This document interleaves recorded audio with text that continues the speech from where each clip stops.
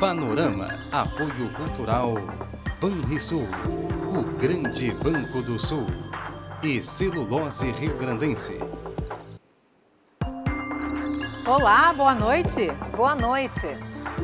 Um dia depois de sofrer o maior baque desde a crise internacional de 2008, o mercado financeiro se recuperou nesta sexta-feira. Mas os reflexos das denúncias contra o presidente Michel Temer ainda preocupam. Hoje nós vamos fazer uma análise dos impactos da crise política na economia brasileira e gaúcha. Quem ganha e quem perde com a alta do dólar. Os desdobramentos no mercado de commodities agrícolas e nas exportações no Rio Grande do Sul. Como os acontecimentos em Brasília influenciam a Bolsa de Valores. A programação da Semana dos Museus na capital. E as dicas do Miltinho Talaveira para aproveitar o sábado e o domingo.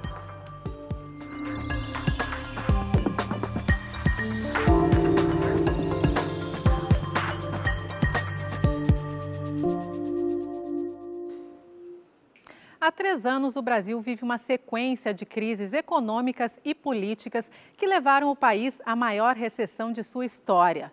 Quando a situação parecia estar se equilibrando, as escutas da Operação Lava Jato provocaram mais um terremoto político que teve reflexos no mundo econômico. Mas depois de uma quinta-feira de pânico nos mercados, a semana terminou bem mais tranquila na Bolsa de Valores e no mercado cambial brasileiro.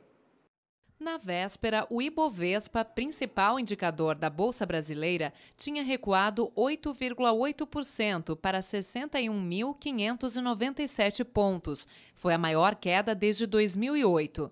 Nesse dia, segundo o levantamento da Economática, a Bovespa perdeu 219 milhões de reais em valor de mercado. Mas a sexta-feira foi de alta no mercado de ações. No meio da tarde, o Ibovespa subia 1,7%, num movimento considerado normal pelos analistas, devido ao tamanho da descida de quinta. No final do pregão, o índice teve alta de 1,81%, fechando com 62.714 pontos. O dia também foi de estabilização no mercado de câmbio. Após a forte elevação da véspera, quando fechou em R$ 3,38, a maior alta diária em 18 anos, o dólar recuou ao longo do dia. Pouco depois das 9 horas da manhã, a moeda norte-americana já era cotada a R$ 3,34. A tendência de queda se manteve durante a manhã. Ao meio-dia, valia R$ 3,29. No fim da sexta, fechou valendo R$ 3,25, queda de 3,89%, a maior em um dia desde maio de 2010. Mesmo assim, o dólar terminou a semana com alta acumulada de 4,26%. E para analisar melhor os reflexos da crise política sobre a economia brasileira, nós estamos recebendo aqui no estúdio o analista de mercado Antônio Sartori e o economista Fábio Pesavento. Boa noite, muito bem-vindos. Boa noite. Bom, vou começar com o Fábio para falar mais especificamente de economia. Quais são os principais reflexos dessa crise econômica imediatos aí sobre a nossa economia? Então, a economia, por natureza, já é incerta. Né? No ambiente de crise política da atual dimensão, a incerteza só aumenta. E por isso a resposta tão imediata dos mercados. Então, o que nós podemos esperar no primeiro momento é uma redução no ritmo, né, que estava num bom ritmo das reformas, pelo menos no Congresso e no Senado. Isso vai diminuir, com certeza. Uh, Segunda-feira ainda vai ter alguns reflexos, né? Esse, hoje foi um dia muito de ajustes, né? E pontuais, né? Então acho que ainda o dólar ainda pode oscilar bastante. E é um momento de muita calma, assim. Ninguém tem, é, com certeza, um consenso sobre o que vai acontecer. Eu diria que nem a equipe, a equipe técnica do Temer, do Temer sabe o que vai acontecer, se ele vai renunciar ou não. Eu, chegando aqui no estúdio, é, escutando no rádio, era essa, exatamente essa notícia Está rachada a equipe se vai renunciar ou não vai renunciar. Então, são questões que têm um desdobramento claro sobre a economia, mas eu diria que esses dois primeiros, volatilidade vai continuar segunda-feira e o ritmo de reformas, que são importantes para, para a volta do crescimento da economia, eles vão ser, infelizmente, mais lentos a partir da semana que vem. E quanto às commodities, né? Vamos explicar para o pessoal de casa o que, que são exatamente as commodities e quais são os reflexos das denúncias sobre elas. Commodities são mercadorias. O Rio Grande do Sul está colhendo a maior safra da história. A safra de grãos do Rio Grande do Sul esse ano é 33 milhões de toneladas, mas isso não significa receita para o produtor, não significa receita para o PIB gaúcho, uma vez que os preços hoje estão bem abaixo dos preços do ano passado. Algum, alguns poucos exemplos, a soja do ano passado foi comerciada em 70, 80, 90 reais. Hoje o produtor está vendendo abaixo de 60. Na correção cambial que teve de ontem, o preço ao nível produtor chegou a bater 60 reais. Mas a receita do produtor, embora a safra seja muito maior, é muito menor. Por isso, o produtor vendeu muito pouco esse ano em relação ao ano passado e a média histórica da comercialização no Rio Grande do Sul. E o dólar em alta deve favorecer o preço da soja, por exemplo? Num primeiro momento, sim, sem dúvida, sim. O que aconteceu nos últimos meses, você pegar nos últimos dois, três, quatro meses, o câmbio trabalhava entre 3,05 e 13,20. Uhum. Batia 13,20 voltava, 3,05 uhum. voltava. Uhum. O que aconteceu ontem, ele foi a 3,43. Uhum. Na, na, mesma velocidade que houve uma desvalorização da moeda, qual é a leitura do mercado mundial? Desvalorizando a moeda, a receita do produtor vai aumentar, com isso ele pode vender por menos dólares. A Bolsa de Chicago despencou 30 uhum. pontos ontem. Então não houve um ganho para o produtor que trabalha com produtos para exportação na razão direta da desvalorização da moeda. Então é um mercado muito especulativo. Basta ter uma ideia do que é especulação. O fluxo financeiro global no ano passado no mundo foi 770 trilhões de dólares. Uhum. Se nós dividirmos esse valor por dias úteis, por horário bancário, o fluxo financeiro global por hora no mundo é 500 bilhões de dólares. No Brasil, não precisa um bilhão para mexer da maneira como mexeu. Louca volatilidade, especulação foi o que aconteceu. Não mudaram os fundamentos, não houve aumento de safra, não houve aumento de consumo, não houve aumento de venda, pura, total, absoluta e especulação. Em política, no Brasil, 24 horas é longo prazo. Decididamente não tem como saber o que vai acontecer. É um Caixinha medo, de surpresa. medo que essas incertezas trazem, né? No que diz respeito ao impacto sobre os consumidores, o que, que a gente pode esperar? É aumento de preços? É, a inflação, desde o início do ano, está num curso de queda. Isso é uma boa notícia. A confiança do consumidor, ao contrário, está aumentando, assim como do produtor. E os dados do CAGED da última semana também são dados positivos. Finalmente, um dado positivo no mercado de trabalho um saldo positivo no emprego formal de 59, mais de 59 mil empregos formais, segundo os dados do Ministério do Trabalho. Então, é, parecia que realmente o Brasil estava voltando a uma retomada do crescimento e o mercado de trabalho tão importante, que tem uma taxa de desemprego hoje de mais de 3%, com mais de 14 milhões de desempregados, né? e, e aí, infelizmente, essa notícia que acabou é, mudando o prumo do mercado. E né? esse sobe e desce da Bolsa, como é que afeta os negócios também? Para os empresários fica mais afeta complicado? diretamente. Sem te contestar, o Brasil não parecia que estava melhorando. O Brasil está melhorando. A economia está melhorando. Não, sim, com certeza. Sem dúvida nenhuma. Sim. E isso vai, não, não vai ser revertido. Decididamente não. Por mais maracutaia, por mais incompetente que sejam os políticos, o empresário brasileiro, o cidadão brasileiro, com a sua competência, com a sua determinação, acostumado a essas crises políticas que só no Brasil existe com a dimensão que nós estamos vivenciando, está fazendo acontecer, está botando a cara, está investindo, está acreditando, a economia começou a retomar e vai retomar de maneira irreversível, independente de quem fica no governo. Assim Independente a gente espera, torcemos para que isso aconteça, né? Não, mas isso, isso não tem como ser diferente. A preocupação maior não é quem vai ficar na presidência, se é o Temer, se é o Maia, a preocupação não é essa. Isso não vai fazer diferença. A preocupação é o Meireles fica ou sai. Se o Meireles sair, a desvalorização cambial vai ser violenta, porque é ele que está dando credibilidade para o Brasil. É por causa dele, das atitudes dele e do presidente do Banco Central que a economia está recomeçando, retomando, e isso é irreversível. Bom, a gente já volta a conversar aqui no estúdio. Agora a gente vai ver que com a crise instalada no governo Temer, foi grande a repercussão nos jornais e na internet. A mídia internacional também deu destaque às denúncias. Vamos conferir. Por aqui, a mídia fez uma grande cobertura do reflexo das delações sobre Michel Temer. O Laboratório de Estudos sobre Imagem e Cybercultura apontou os 33 veículos mais influentes e registrou a interação de 670 mil usuários do Facebook nas postagens. A pesquisa verificou os três perfis jornalísticos mais influentes: Jornal Nacional, Mídia Ninja e Revista Veja. Já na mídia internacional, diversos sites dos principais veículos deram destaque para as denúncias e o pronunciamento sobre Temer. O americano New York Times, presidente do Brasil, rejeita pedidos de renúncia em meio a novos casos de corrupção. Já a edição brasileira do francês Le Monde Diplomatique traz em sua capa um país repartido. O britânico The Guardian Gravações explosivas implicam presidente Michel Temer em suborno. Edição brasileira do espanhol El País. Temer diz que fica e partidos aliados ameaçam debandada após delação da JBS. E a agência Reuters destaca: Temer será investigado por corrupção passiva e obstrução da justiça. Pois é, a repercussão realmente foi, foi muito grande. Né? A gente volta aqui no estúdio, então, onde estamos recebendo o analista de mercado Antônio Sartori e o economista Fábio Pesavento. Como é que fica a situação do Brasil aí em relação ao comércio internacional? Assim, em termos de, por exemplo, reservas. O Brasil tem hoje 370 bilhões de dólares em reservas. E a gente tem um déficit em transações correntes no balanço de pagamento há 12 meses aí de 1,1% do PIB.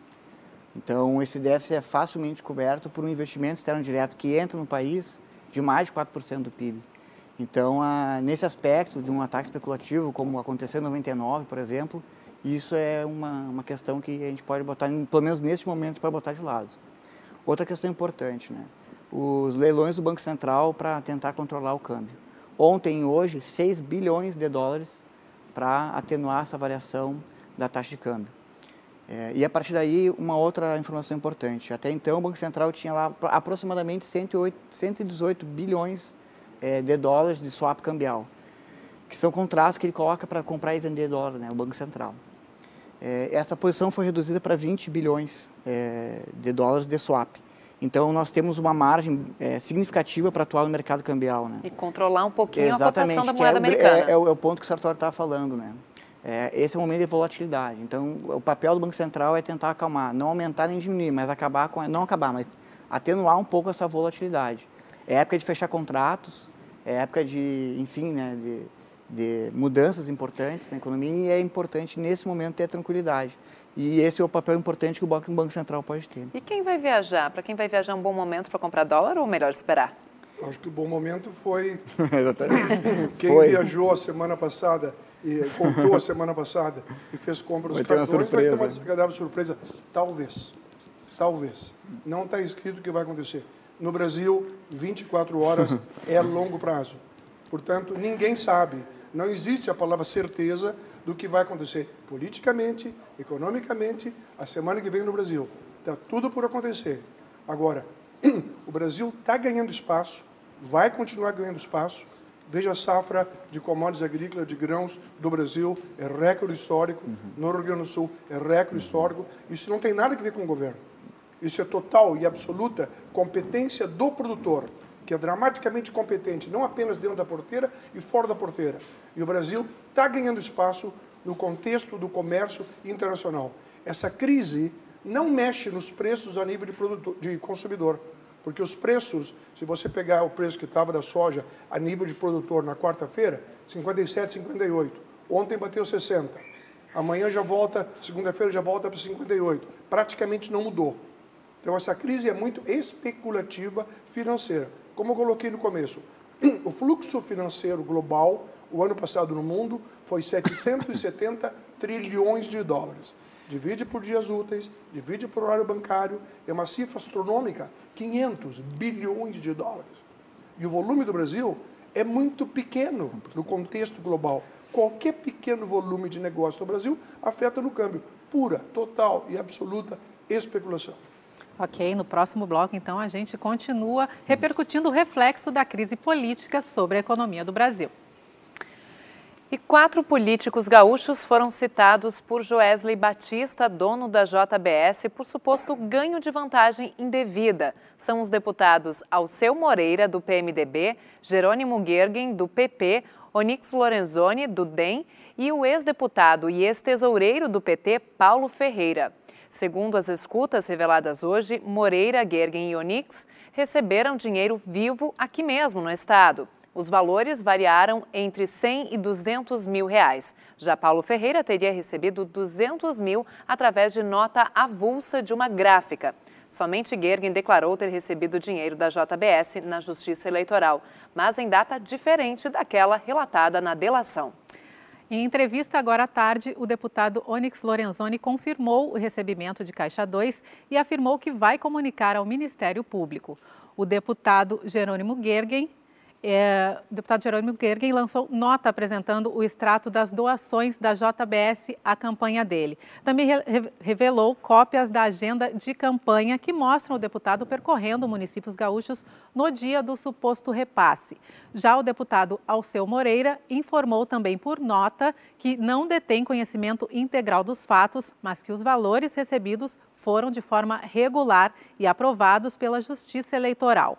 O ex-deputado Paulo Ferreira não foi localizado pela produção. Bom, nós vamos agora a um resumo de notícias dessa sexta-feira, dia em que a Polícia Civil desencadeou uma nova fase da Operação Santo, que investiga a construção de um túnel para a fuga de detentos do Presídio Central.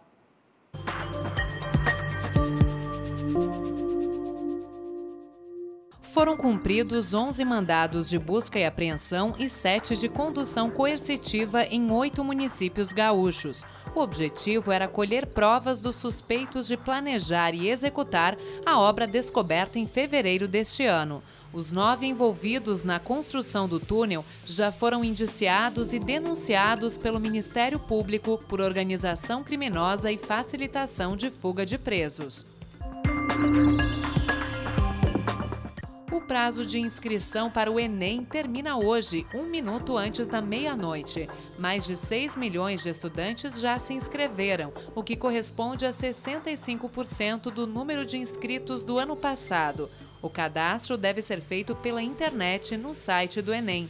As provas vão ser aplicadas em dois domingos seguidos, nos dias 5 e 12 de novembro.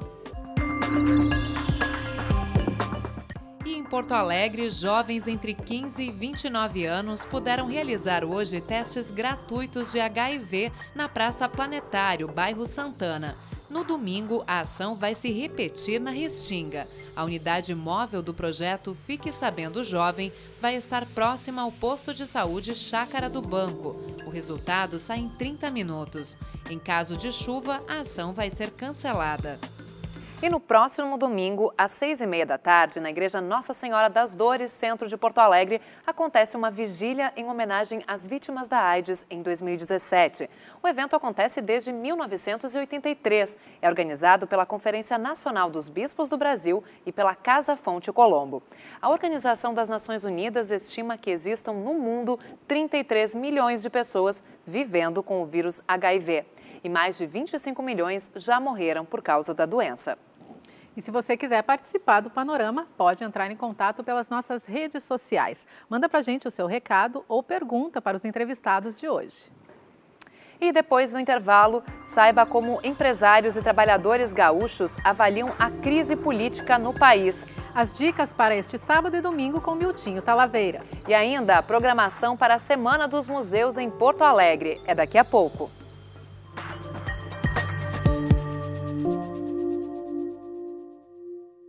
Já estamos de volta, estamos recebendo aqui no estúdio o analista de mercado Antônio Sartori e o, o, economista Fábio Pesavento, que estão aqui analisando com a gente os impactos econômicos da crise política.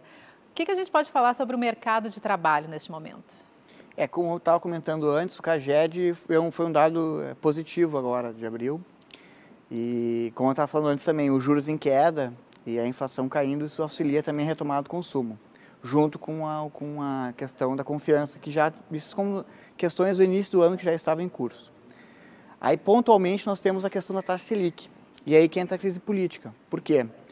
A, a ideia era que a Selic atingisse o final do ano 9%, hoje está em 11,25%. alguns economistas colocando até 8% para o final do ano de uma taxa Selic. Isso seria um crédito mais em conta e, claro, iria auxiliar a retomada da economia e, claro, evidentemente, né, a questão de consumo de maneira mais imediata. Qual é o ponto que se coloca? A, questão, a crise política. Será que o Ilan, que é o presidente do Banco Central, vai, na próxima reunião do Copom, no final de maio, é, reduzir a taxa de juros? É, enfim, essa é a questão que fica em aberto por conta dessa questão da, da, da crise política. Né? Vou pedir uma licença, porque a gente tem uma matéria Sim, também que claro. fala um pouco sobre essa questão do mercado de trabalho. Claro. Um escândalo de corrupção como esse, envolvendo importantes figuras políticas do país, entre elas o presidente da República, tem, claro, proporções difíceis de mensurar. Sim, e a área econômica logo sente os reflexos. Trabalhadores e empresários já se preocupam com o rumo que os últimos fatos podem dar à crise econômica. Crises políticas como esta que afeta o país não ficam restritas ao Planalto ou ao Congresso. Logo, os reflexos são sentidos na economia. Dólar em alta, bolsa em queda, insegurança de investidores. Mas em que medida o cidadão sente a crise em seu dia a dia? Este economista da Federação das Câmaras de Dirigentes Logistas teme pelo efeito cascata da crise política na economia. A incerteza política nos dá esse problema de não saber o que é o futuro eu vou segurar esse dinheiro, eu vou economizar, eu vou me resguardar para não passar necessidades no futuro. Aí o que acontece? Cai taxa de investimento, cai taxa de emprego, o consumo tende a se retrair. Para o presidente da Central Única de Trabalhadores do Rio Grande do Sul, o escândalo reflete negativamente no mercado de trabalho, que já amarga 14 milhões de brasileiros desocupados. Mas esse turbilhão também pode acabar beneficiando os trabalhadores. A crise em Brasília garante mais fôlego na luta contra as reformas trabalhista e previdenciária. Ao que tudo indica, elas devem permanecer estacionadas no Congresso, pelo menos nos próximos dias. Para nós, isso já é um bom começo porque essas duas reformas são reformas restritivas, estão na contramão do que o Brasil precisa. A gente já desmascarou essas reformas, elas não são necessárias. Elas estão aí só para dar uma satisfação para o setor financeiro e para a elite do empresariado brasileiro. Não se lance o Brasil em 24 horas, como foi, com uma denúncia sem a comprovação, porque isso aí faz mal para todo mundo. Precisa imediatamente o Temer sair de lá, não devia nem ter assumido, porque é golpista, e abrir eleições direta imediatamente. Embora as entidades façam análises distintas sobre o momento político nacional, concordam que enfrentar a corrupção é um primeiro passo para uma mudança de rumo do Brasil. Bom, a gente viu aí os dois lados, né, as perspectivas no mercado de trabalho do lado dos empresários e também dos trabalhadores. O Antônio Sartori, nosso analista de mercado, já falou que acredita que a retomada da economia vai continuar, mas não pode nem ser freada por todos esses acontecimentos. A gente falava, inclusive, da taxa de juros, que pode uh, reduzir de forma mais lenta uhum. e, com isso, também atrapalhar a retomada dos negócios. Sua colocação é absoluta, pertinente e procedente. Vamos definir o que é crise. Crise, só existe crise no mundo capitalista. Crise são eventos de correção de distorções. E eles são passageiros. 100% das crises do mundo passam. 100%. Crise financeira, crise uhum. política, crises emocionais, crises existenciais. Todas passam. Essa crise vai passar, sem dúvida nenhuma. Uhum. Ao mesmo tempo que qualquer um de nós que tenha consciência vê com profunda tristeza e preocupação as notícias do que acontece no mundo político em Brasília, ao mesmo tempo eu tenho uma grande alegria, eu sou muito otimista, porque sem dúvida nenhuma, nunca tantas pessoas foram presas, nunca foi vasculhado tanto o que aconteceu por baixo dos panos em Brasília, e isso realmente vai reverter. Isso é irreversível. Não, te, não se trata de ser otimista. Eu sou otimista pela própria natureza. Nasci em 46, pela turma do Baby Boom, então eu sou um eterno otimista.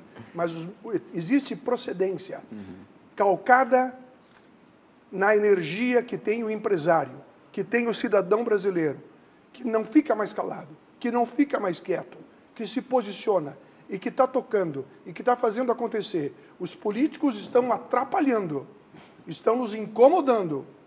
Tomara que essa turma saia em 2018. Vai ficar muito pouco, porque a população não vai esquecer. E que toda essa turbulência resulte em algo melhor depois também, né? Absolutamente sim. Absoluta. Os investimentos estão acontecendo, a economia está retomando, os empregos estão retomando, a produção no campo está aumentando, a produtividade está aumentando. Nós temos hoje bons ministros, como o Blairo Maggi, da Agricultura, está fazendo um excelente trabalho no exterior, mesmo que uma mídia irresponsável fez o que não devia ter feito, que foi o evento da carne fraca, não devia, isso é um tiro no pé. Não se faz isso.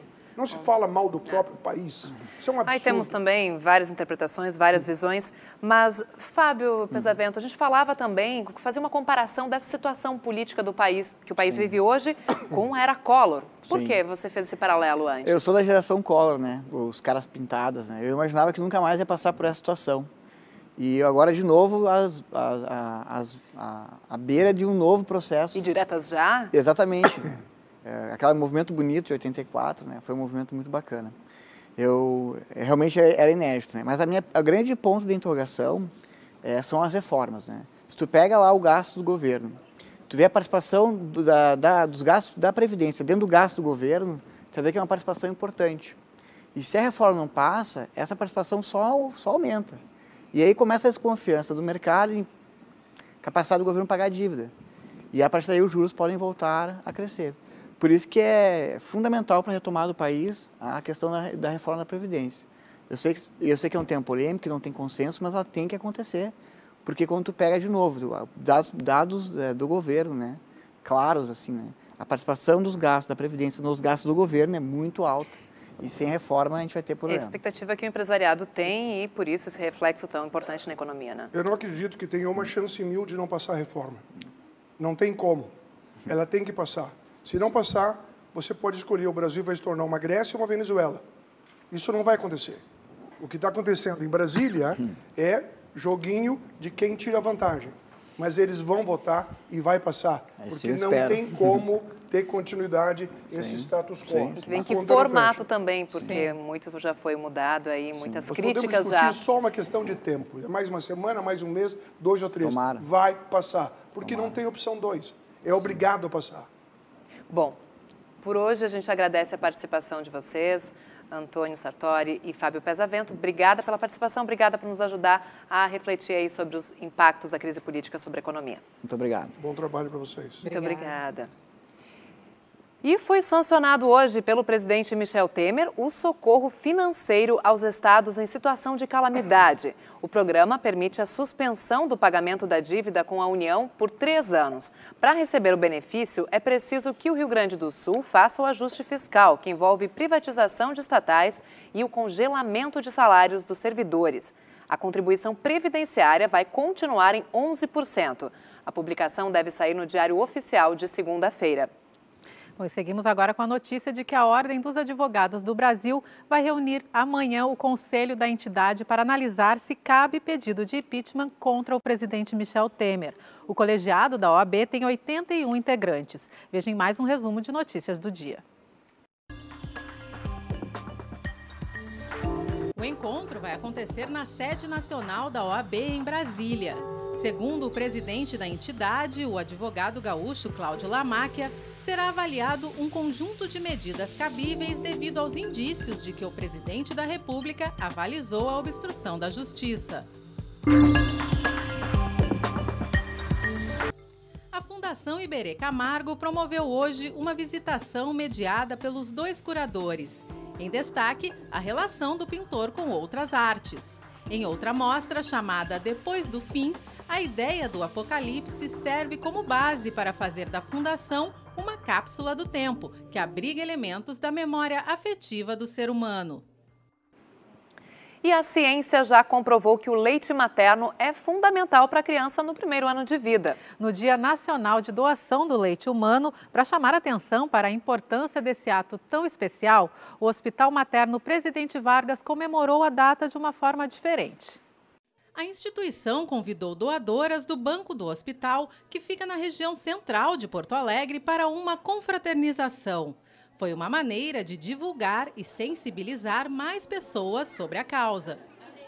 A importância desse dia, a importância do aleitamento, a importância da doação de leite é a qualidade de vida do bebê.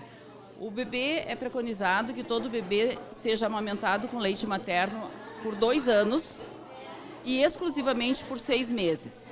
Um bebê que nasce prematuro, ele fica numa UTI pediátrica, essa mãe está angustiada, nervosa, a produção de leite dela ainda não se estabeleceu, então é fundamental quando outra mulher que está amamentando seu bebê, que tem excesso de leite, possa doar. Esse leite será pasteurizado, este leite vai para o bebê prematuro que está internado. Isso vai antecipar a alta desse bebê, vai dar uma qualidade de vida para esse bebê, ele vai receber os nutrientes adequados, a proteção adequada que o leite materno proporciona. Então, essa, essa é uma ação uh, de vida. O Hospital Materno Infantil Presidente Vargas fica na Avenida Independência 661 e o banco de leite funciona no sexto andar. E já estão abertas as inscrições para cinco cursos profissionalizantes no Centro Educacional Calábria, na Zona Norte, Zona Sul de Porto Alegre. Os interessados podem procurar a instituição até o fim do mês e marcar uma entrevista.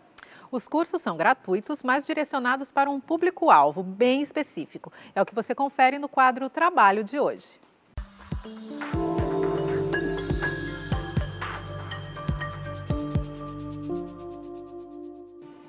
dezenas em torno de um carro, mexendo na suspensão, no motor.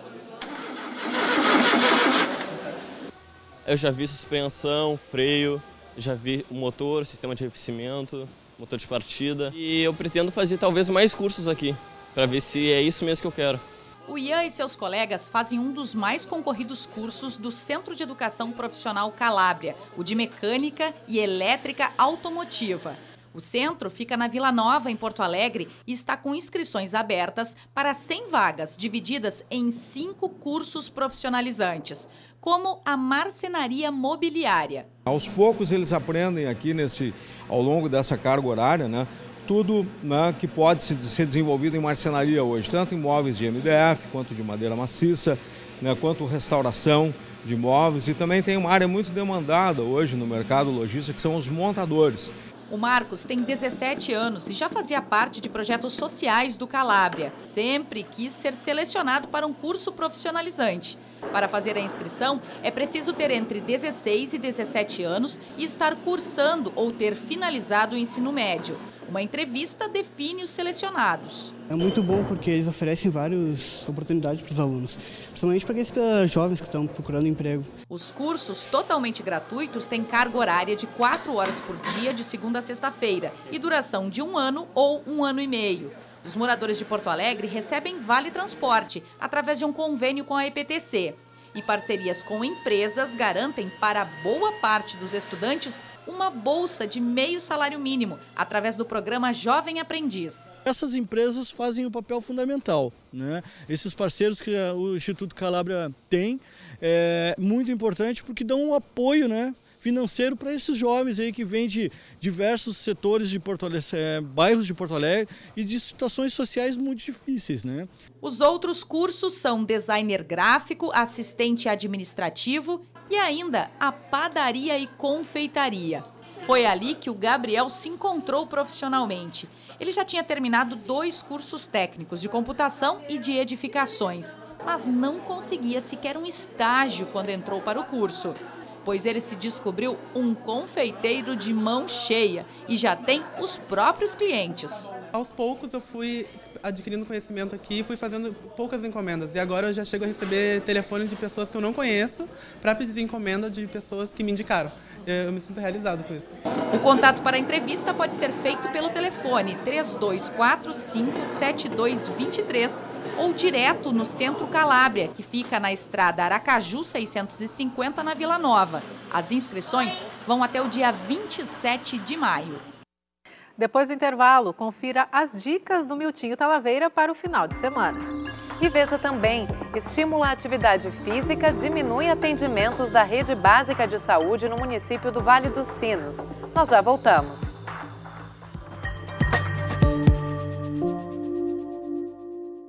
Volta com o panorama. Centenas de estudantes surdos de Porto Alegre e região metropolitana participam de jogos esportivos na capital. Eles gostariam de ir além das fronteiras. É verdade, os sonhos incluem competir, competir, competir no exterior, mas as dificuldades são enormes para conseguir patrocínios. Por enquanto, a felicidade é vencer ou não. Júlia, O dia começou com recorde. Maiara foi a primeira colocada no salto em altura. Eu me foquei muito e eu senti que dava, eu senti que eu ia conseguir e Deus me ajudou. Por isso que eu venci hoje. Os jogos reúnem 250 alunos surdos da capital, região metropolitana e Novo Hamburgo. A organização é da Prefeitura de Porto Alegre. Então a gente tem que entender que todos são cidadãos, né? Então a gente tem que incluir, sim, eles são parte de uma população que não pode estar fora. E o esporte tem essa linguagem de aproximar, né? Então é isso que a gente tenta fazer. Neste final de semana acontecem as provas de atletismo. Na semana que vem são os esportes coletivos, como futsal e vôlei. Muitos atletas aqui vão seguir participando de outras competições. A gente vai para o campeonato na, Tur na Turquia, que tem handball, tem futebol, tem vôlei. É muito importante participar e eu estou muito feliz sendo a vice-presidente da federação. A maioria dos atletas pagam dinheiro do próprio bolso porque a gente não tem apoio e é muito difícil para os atletas participarem porque o, é muito difícil conseguir parceria aqui em Vista no desporto surdo. Mas para outros, participar é a maior vitória. Júlia, de 10 anos, ia disputar sozinha a corrida de 50 metros para cadeirantes. Mas a cadeira virou logo na saída. Não importa, ela seguiu e chegou até a reta final. Trazer ela para cá é uma felicidade porque ela gosta de ficar com pessoas, né? Faz bem para ela? Faz, ajuda no desenvolvimento dela bastante. Então, por isso que eu, esse ano, é dois anos ela ficou doente, no terceiro ano não, esse ano ela vai. Agora vamos falar sobre saúde. Um trabalho de prevenção já apresenta bons resultados em Campo Bom, no Vale dos Sinos. Por lá, depois que os postos de saúde implantaram atividades esportivas e de lazer para a comunidade, o número de atendimentos diminuiu na rede básica. Veja na reportagem da TV Fivale.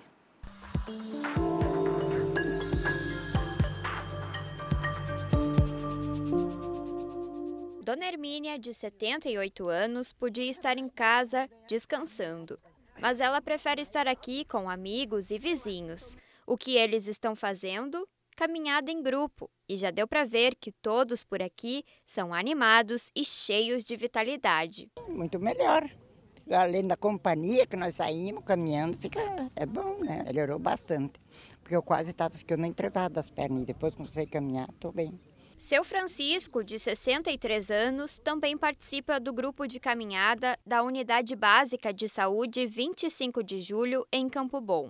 A atividade tem ajudado ele no controle do peso. Me sinto bem porque é a saúde, né? Tu tá, tu tá caminhando, tu tá fazendo aquilo que, que, é, que a gente tem que fazer, caminhar para o corpo se manter. O grupo de caminhada orientada faz parte de um programa complementar da Secretaria Municipal de Saúde. Ações diversificadas como esta são desenvolvidas em todas as unidades de saúde da cidade. O propósito dessa ação é realizar um trabalho preventivo com a comunidade atendida por cada posto. Os participantes percorrem as ruas do bairro por uma hora. Durante o trajeto, é feita uma parada na academia ao ar livre. A gente não quer que as pessoas adoeçam, então a gente faz todo o possível né, em torno delas né, para evitar a doença. O investimento em ações de prevenção da saúde oferecidas para a comunidade já tem tido resultados positivos. Com a mudança no estilo de vida, a saúde melhora e as doenças são prevenidas. Inicialmente, nós tínhamos muitos pacientes depressivos, muita gente ansiosa e principalmente o artesanato, eu acho, e a caminhada, eles fazem com que as pessoas uh, participem de grupos sociais. O retrô está moderno. A afirmação até pode soar estranha, mas de tempos em tempos as tendências da música, da moda se reinventam com base no passado. Agora, são os anos 70 que estão de volta. Uma campanha publicitária de uma marca famosa evidencia isso e propõe o retorno do melhor da era disco aos dias atuais. E claro que quem vai falar um pouquinho sobre isso com a gente é ele, que está cheio de brilho aqui. Hoje, eu já vim, hoje eu já até produzi as amigas aqui, né? Tudo bom, Gurias? Boa noite. Sim, Tudo, aí, bom? Boa me noite. diz, o que, é isso? Qual é o clima? É, é que eu vim contextualizar o que está acontecendo na... Cadê minha câmera aqui, né? Não, eu nem sei que... Aqui, ok, acendeu a luzinha. Boa noite, tudo bom, pessoal? Eu vim contextualizar o que está acontecendo uh, na moda. Então, a gente tem umas cenas de, uma, de, um clipe de uma, de uma grife famosa que a Gucci lançou a campanha de primavera-verão no, no mundo toda ela inspirada na música black, no, nos ritmos dos anos 70, que também tem a ver com aquele seriado Netflix do Get Down. Então, toda a coleção foi lançada antes de fazer um desfile, eles fizeram um filme que contextualiza as pessoas chegando numa festa, comprando bilhete, dançando ao ritmo de uma música negra, e todos eles com muito paetê, muito exagero de como foi os anos 70, muito paetê, muito glitter, muita cor, muita coisa rolando. E aí o que, que aconteceu? Tá ali, ó, as pessoas chegando na festa. Tudo isso é uma coleção, a coleção atual de primavera-verão da Gucci deste ano, que está sendo lançada, ó, a trilha maravilhosa. Ali, ó.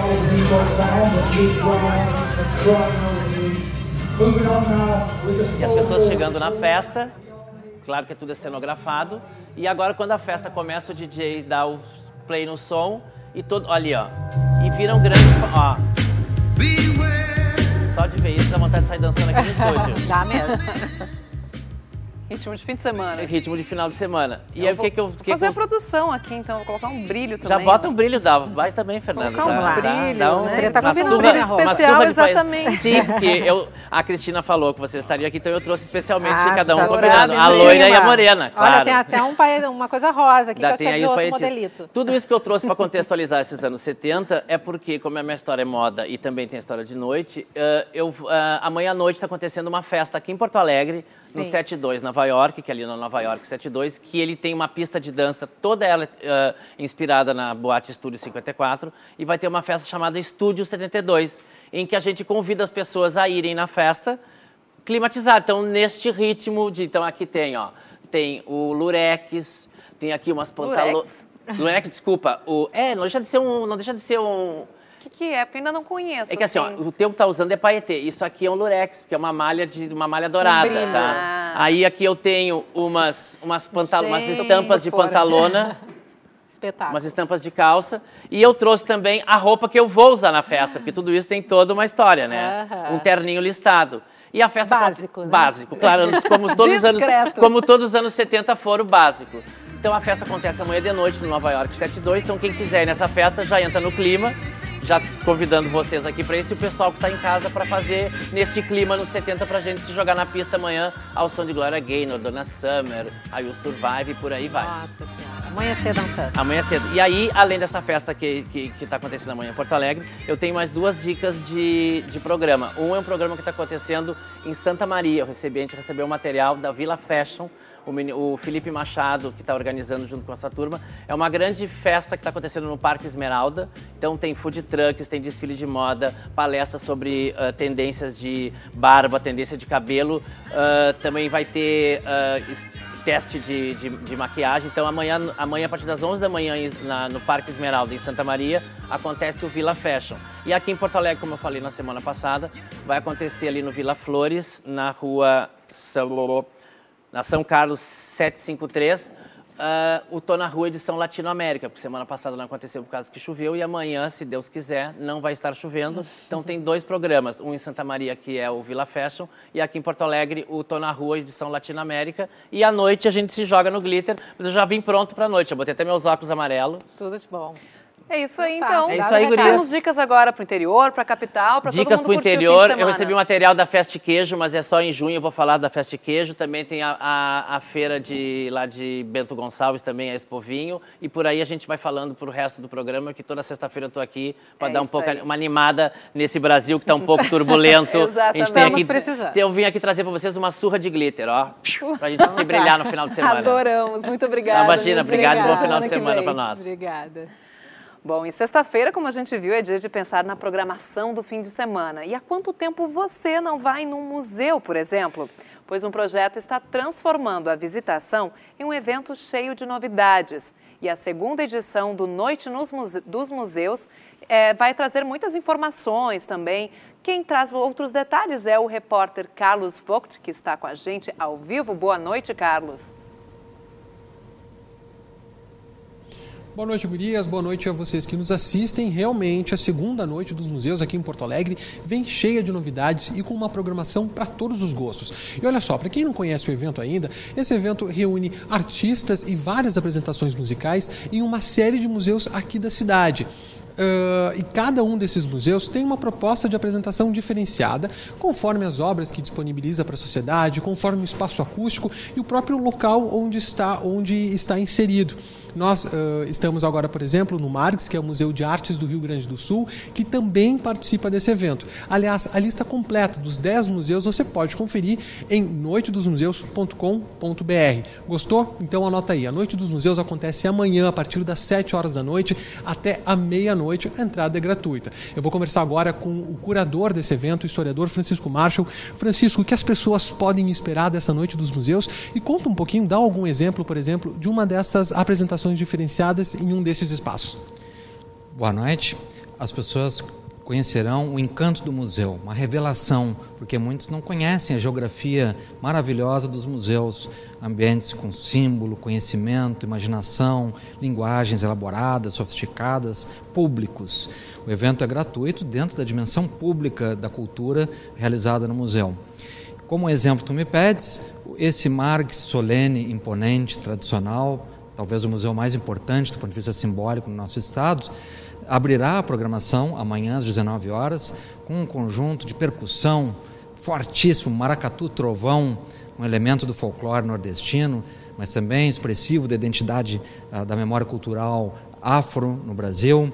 Claro que isso é uma provocação muito forte que destaca os sentidos, que anima, que dá curiosidade. Uh, nós teremos nessa programação com, especial carinho o, desenho que foi feito do Festival de Memória Cultural Afro no Museu Joaquim José Felizardo, na Cidade Baixa, com roda de samba, com o conjunto Floresta Aurora, com hip hop, com, ah, ah, com, muitas expressões de uma cultura que é fundamental que todos conheçam.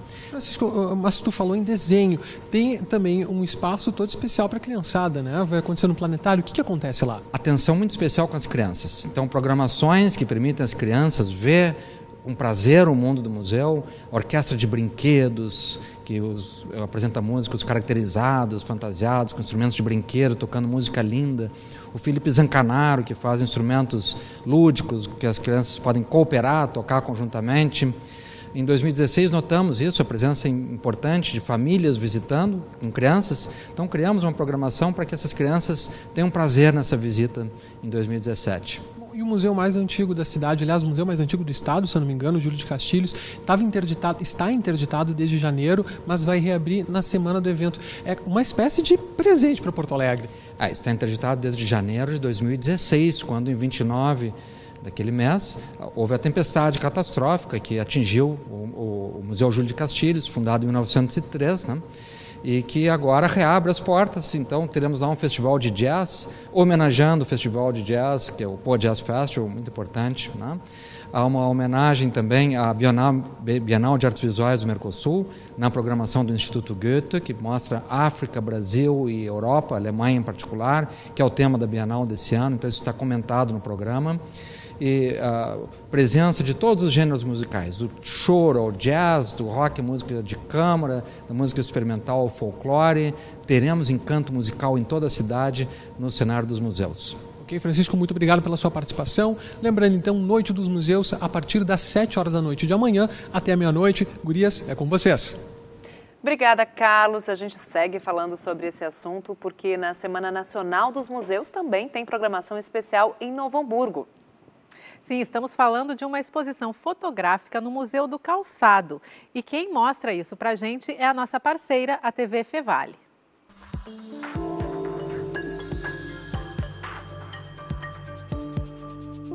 Objetos e fotos que contam a história de pessoas e suas trajetórias profissionais. A exposição Entre Silêncios, Sons e Pausas, Diálogos com os Trabalhadores do Calçado acontece no Campus 1 da Universidade Fevale. A atividade quer mostrar ao público como o calçado está relacionado com a vida destes homens e mulheres. Muito se fala sobre o calçado, se expõe o lado glamour, a, até sobre a produção, mas a parte bruta mesmo, de colocar a mão na massa, pouca coisa se sabe.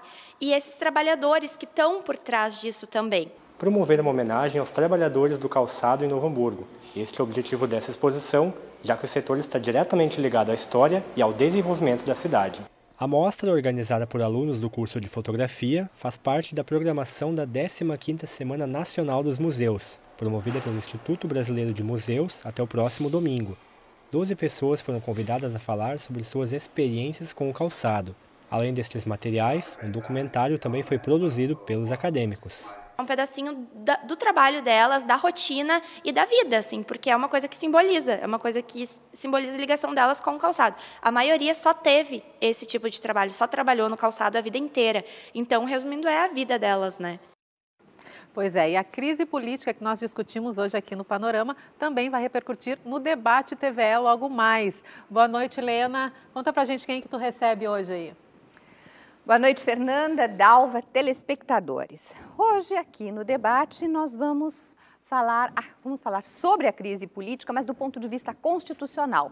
Eu estou com um representante da OAB, com um professor de Direito Constitucional, que é representante também do, que é também uh, promotor de justiça, e a partir daí nós vamos abrir um leque de possibilidades e falar um pouco sobre a situação do país, a situação política do país e os seus desdobramentos. E logo depois do panorama, até com vocês, gurias. Obrigada, Lena. Você então fica a seguir com o Debate TVE. Uma boa noite. Boa noite e até segunda-feira. Lembrando que a partir da semana que vem, o Panorama vai começar um pouquinho mais cedo, às 7h15 da noite. Bom fim de semana para você.